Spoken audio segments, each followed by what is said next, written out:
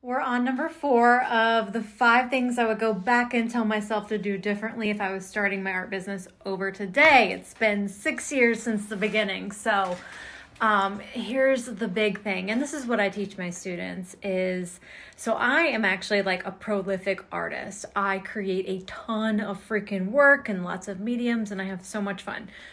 Here's what I would do different actually spending if you want to earn a full-time income and you you want something to change if you're not earning the income you want to earn you've got to make a change.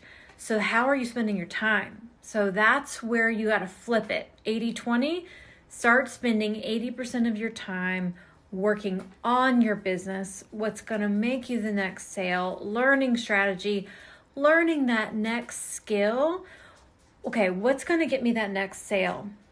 What is the skill I need to know that's going to help me be where I want to be in a year? What's the skill I need to learn that's going to get my business where I want it to be in three years from now?